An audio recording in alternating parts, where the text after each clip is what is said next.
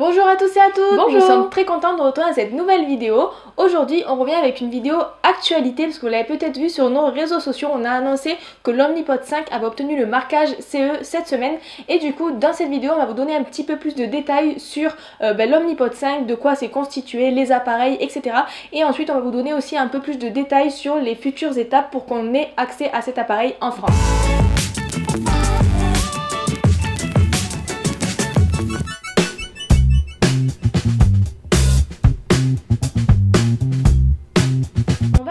Rappeler ce que c'est l'Omnipod avant de parler de la boucle fermée. En fait, l'Omnipod, c'est une des pompes à insuline sans tubulure qui existe en France. Donc c'est celle-ci que je porte sur le bras. Voilà, elle ressemble à ça. Elle a vraiment aucune tubulure. C'est un appareil qu'on se colle sur la peau. Et avant euh, donc qu'il existe la boucle fermée, d'abord il existait le premier Omnipod qu'on a eu. Donc c'est celui-ci, cette espèce de PDM noir un peu classique. Et ensuite, ils ont sorti, on appelle ça l'Omnipod Dash. Le, le, le visuel de la pompe à insuline n'a pas changé. La seule chose qui a changé, c'est le PDM, donc cette espèce de petit téléphone là. Au lieu de ce, de ce boîtier noir, on avait ce téléphone. Et donc, c'est ça qui a changé. Et donc, l'Omnipod est passé maintenant en Bluetooth grâce à ce téléphone. Et maintenant, Insulette a sorti son système de boucle fermée qui s'appelle Omnipod 5. Le système de la boucle fermée, en fait, c'est un Omnipod. Donc, on sait pas trop quel type d'Omnipod ça va être et comment il va s'appeler. En tout cas, nous, on va l'appeler Omnipod 5. Ça va marcher avec un capteur de glycémie. Donc, ce capteur de glycémie, pour l'instant, c'est le Dexcom G6. Et au milieu, il y a un algorithme qui s'appelle Smart Adjust Technology. Et donc cet algorithme, c'est soit euh, un PDM, soit un téléphone ou une application. Pour ce qui est de ces appareils, il faut savoir que l'Omnipod contient 200 unités euh, d'insuline à l'intérieur maximum. Ce qui fait que euh, jusqu'à présent, l'Omnipod que Anne utilise par exemple là, imposait aux patients d'avoir maximum 60 unités par jour pour que ça tienne 3 jours. voilà, donc ça c'est une petite condition. Donc à savoir que cette pompe là se change tous les 3 jours. Ensuite on a à côté comme Anne l'a dit le Dexcom G6 pour l'instant le capteur qui est dans cette boucle fermée. C'est un capteur qui n'a pas de calibration et qui dure 10 jours donc il faut changer le capteur tous les 10 jours. Pour le petit rappel qu'est-ce que c'est une boucle fermée? Alors on a testé quand même pas mal déjà. On a testé déjà Jabeloop, Medtronic etc.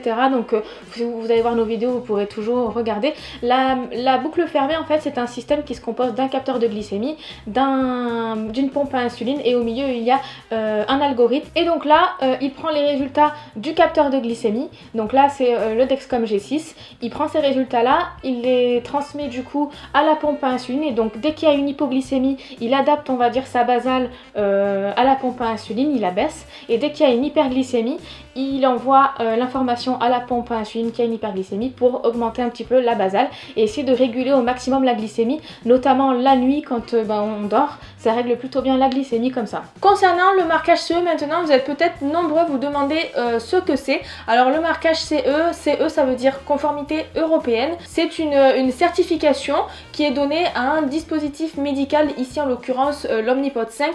Mais il faut savoir aussi que euh, par exemple les jouets qu'on achète dans le commerce ou peu importe des trucs, des cartons, des choses comme ça, tout ça ça a le marquage CE parce que sinon on peut pas les vendre en France parce que ça demande des sécurités, des trucs par rapport aux composants chimiques, des choses comme ça. Voilà, toutes je pense qu'ils ont toute une grille critères euh, euh, à remplir pour qu'ensuite l'appareil puisse rentrer euh, en Europe et être vendu en Europe. Et du coup, bonne nouvelle, l'Omnipod 5 a obtenu le marquage CE, comme on l'a dit de nombreuses fois dans cette vidéo. Et du coup, ça veut dire que ben, le produit va arriver en France. Par contre, pour la date, ça, on ne sait pas parce que vous le savez très bien que quand le produit obtient le marquage CE, derrière, il y a encore plein d'étapes, notamment ben, l'autorisation de mise sur le marché, mais ça, il semblerait que ce soit rapide par rapport au marquage CE. Et une fois que ça c'est fait, euh, le laboratoire a deux possibilités. Euh, soit le fait de le vendre directement au patient, euh, comme par exemple, pour vous donner une idée, le freestyle qu'on achète sur internet. Bah, il obtient le marquage CE, le met en vente sur internet et après ils attendent le remboursement, pour l'exemple. Et après, sinon, le laboratoire choisit d'attendre le remboursement et pour ça, vous savez qu'il y a beaucoup d'étapes, d'essais cliniques, de choses comme ça. Ils doivent bah, justifier bah, déjà d'un il faut que le prix soit convenable par rapport au remboursement, etc. Il faut aussi de justifier de, bah, la fiabilité, l'avantage pour le patient, etc. Le risque d'hypo diminuer, enfin bon, plein de choses comme ça, pour que le produit soit remboursé par la sécurité sociale en France. Donc vous vous en doutez, ça peut être très long, mais ça peut être aussi très rapide parce qu'on sait qu'il y a des laboratoires pour certains appareils ou certaines boucles fermées, ils sont allés très vite par rapport à ce qui était attendu en France. Donc là maintenant on n'a plus qu'à être patient, vous savez que ça c'est une qualité qu'on a quand on est diabétique.